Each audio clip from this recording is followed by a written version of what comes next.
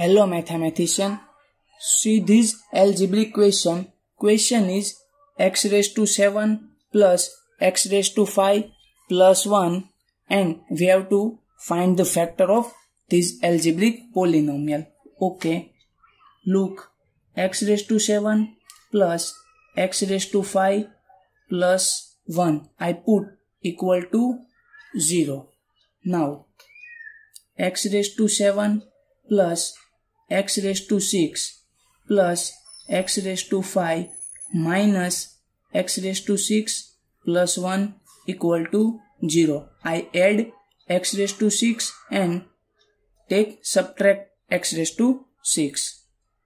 Now from these 3 take x raised to 5 common therefore x raised to 5 in bracket x square plus here x plus here 1 minus take common take minus 1 common from these two so minus x raised to 6 minus 1 equal to 0 now x raised to 5 x square plus x plus 1 minus x raised to 6 is right as x cube raised to 2 minus 1 okay.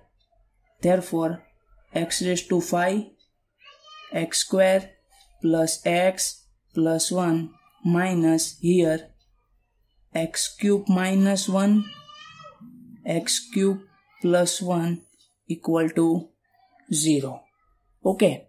Now x raised to 5 x square plus x plus 1 minus expand this one x minus 1 x squared plus x plus 1 and this as it is x cube plus 1 equal to 0 now look x square plus x plus 1 and here x square plus x plus 1 is common. So take is common.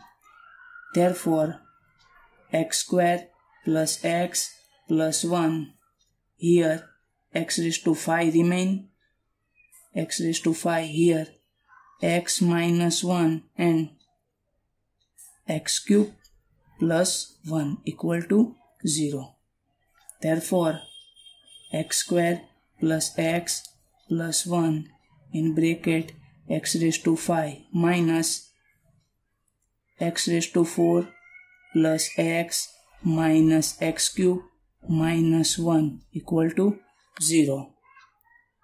Therefore, x square plus x plus 1 and x raised to 5 minus x raised to 4 I open this bracket. X raised to 4 minus x plus x cube plus 1 equal to 0 and finally x square plus x plus 1 in another bracket x raised to 5 minus x raised to 4 plus x cube minus x plus 1 close the bracket equal to 0 and this is answer